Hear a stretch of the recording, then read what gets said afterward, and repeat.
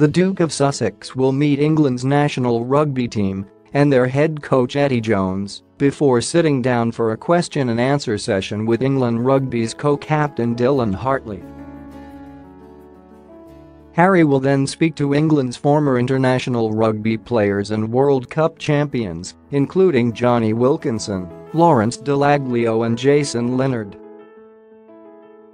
The Duke of Sussex, who is a patron of the Rugby Football Union, will be holding the event to honour two charities close to his heart.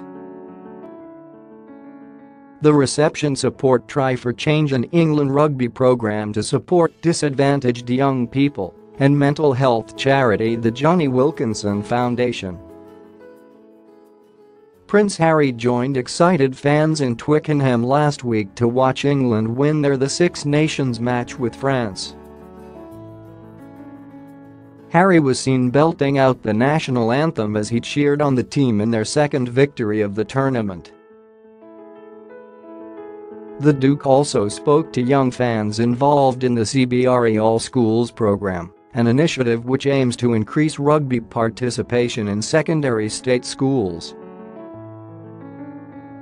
He asked the children what they enjoyed about the game, adding, it's a fantastic sport. George Reynolds, 12, of Marsh Academy, said, We were just talking about sport, the Invictus Games and all of that.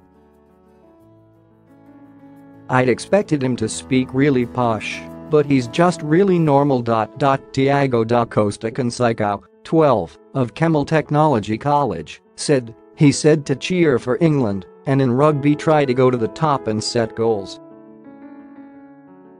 Harry also discussed the difficulty young players face when transitioning to adult rugby. Damien Orton, of Sherborne Rugby Football Club in Dorset, said, just as he was going I wanted to wish him well. It's the greatest adventure.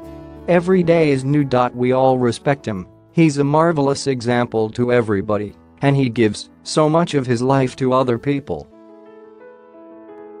It's nice to be able to give a thank you back occasionally.